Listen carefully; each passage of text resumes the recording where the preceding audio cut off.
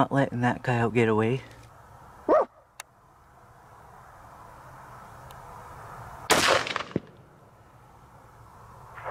Looked over, this guy was coming straight across to me. Uh, I